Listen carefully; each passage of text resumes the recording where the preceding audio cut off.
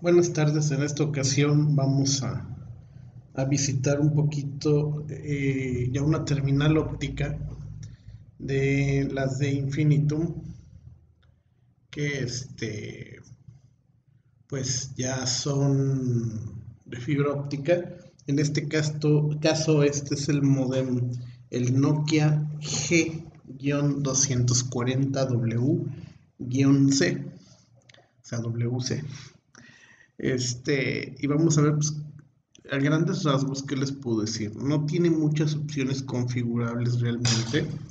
No tiene muchas este, opciones que digan ustedes puedo manipular. Pues no, más que las clásicas, eh, el nombre de usuario, la contraseña. Aunque sí, como en videos anteriores, sí pueden modificar los DNS y pueden modificar también este, algunos parámetros que les van a servir. Ahorita les voy a decir rápido cuáles todo lo que es la sección de estado dentro del modem, todo lo que es estado, este, les da un registro de, lo que es su, su aparato, en este caso, bueno, pues ya está ahí funcionando. Este, pues ahí está, ¿no? Ya tiene hasta IPv6. Aquí está el IPv6 que ya ven que está desplegado. Curiosamente, bueno, les platico, esta es una oficina y este, se hizo el reemplazo en este caso de Axtel. Tenían Axtel por fibra óptica, pero Axtel, aparte de que lo compró Megacable y le dio la madre, hay que decirlo como es. Axtel perdió la calidad del servicio que tenía, todo porque pues, Megacable lo compró. Bueno, en la zona de centro, todas las ciudades de zona centro, pues ya son este Axtel, la red de Axtel la compró Megacable y en otras partes la compró, en el norte del país la compró Easy, o sea, Televisa. Pero sí, no, Megacable dio una torre, entonces, este, entre las cosas deficiencias que tiene Megacable es que ni siquiera, ni siquiera han podido desplegar el IPv6. Entonces, obviamente, pues con, con Axtel no había IPv6. Entonces, este, pues aquí está el, este, bueno, ¿qué son las configuraciones que hay que moverle sobre todo? Este, en red doméstica, ¿qué le pueden mover? Pues realmente nada. Eh, en servidores, en servidores, este, aquí está la conexión, miren. Versus IPv6. En, los, en, el, servicio IPv4, que es este, en el servicio IPv4 pueden cambiar los servidores. En este caso, este, yo ya los cambié, ahorita los reviso otra vez porque no me los pone. Yo los que les he recomendado son los de Neustar. De Neustar. Recursivos. Que son estos. Ya les comenté en otro video que Neustar es un contratista del Pentágono de Estados Unidos. Es el que le da la seguridad a sus redes y pues obviamente pueden usar estas. Aquí están las direcciones. Estas son las de confiabilidad y desempeño 1. El servidor 2. Obviamente tiene dos servidores principales. Este es internet libre, acceso completo sin ningún tipo de filtro.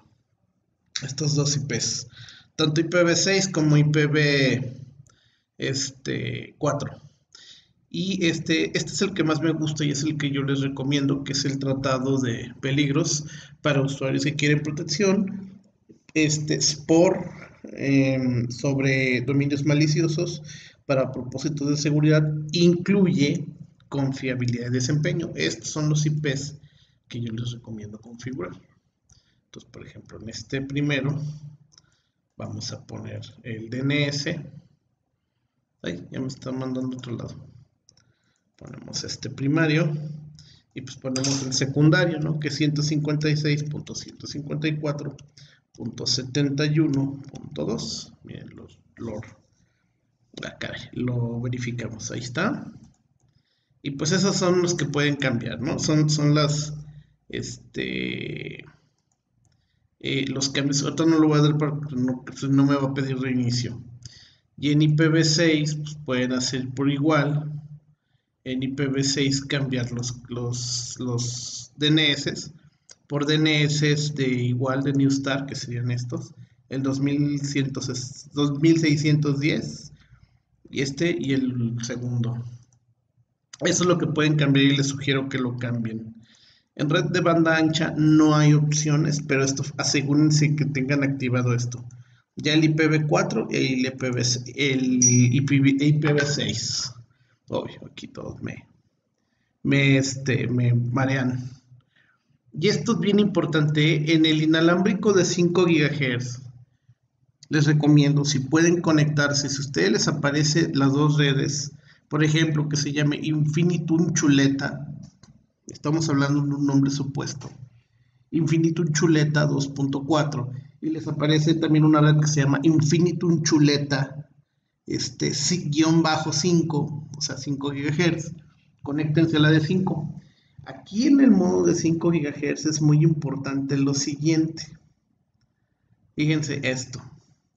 Si ustedes en su casa nada más tienen dos, tres dispositivos, dejen el modem así configurado, nada más denle su nombre a su red, pónganle su contraseña y tal, Si tienen más de tres, cuatro dispositivos conectados al mismo tiempo, por ejemplo, una oficinita o, en la empresa en la que en su casa tienen muchos dispositivos, activen este, el MIMO, es Multiple Users MIMO.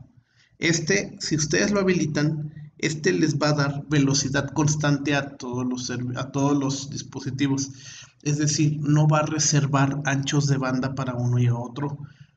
O, va a, digámoslo así, como a balancear la red inalámbrica. Eso es para red inalámbrica. ¿eh? Este efecto nada más tiene eh, en la red inalámbrica. En la alámbrica no pasa nada. Ese efecto no, no, no ocurre. Entonces, cuando ustedes habilitan el MUMIMO, Repito, si tienen más de cuatro dispositivos conectados al mismo tiempo, habilítanlo y les va a dar una velocidad constante en todos los dispositivos.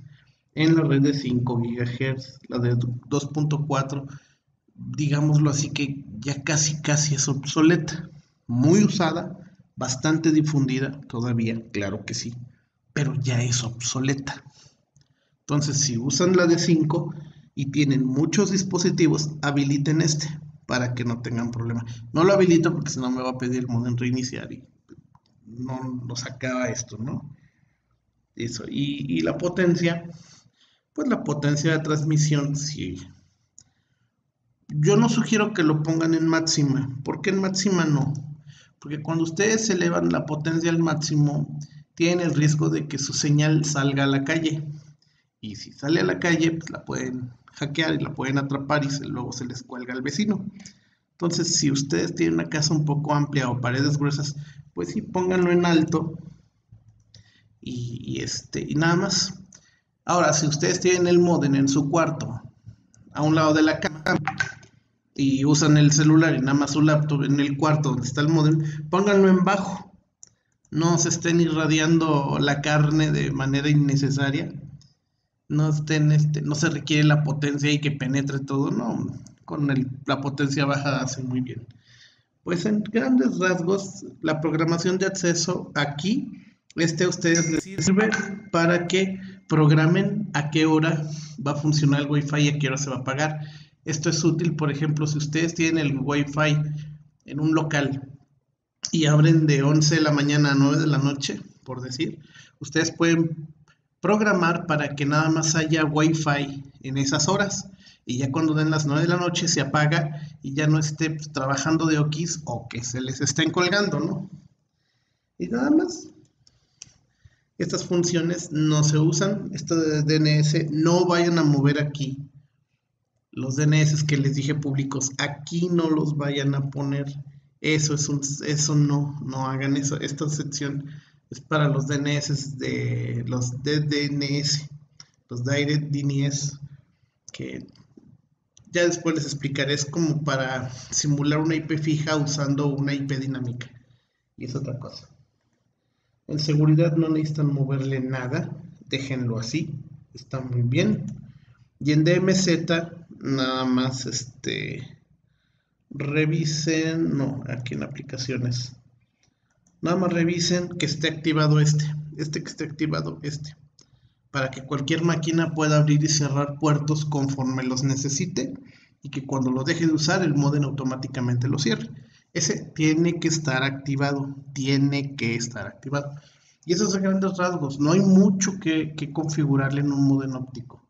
Entonces, esos grandes rasgos lo que pueden hacer. Les digo, este es un Nokia G240W-C. Este, y no hay más que hacer. Cualquier duda o cosa me indican. Saludos.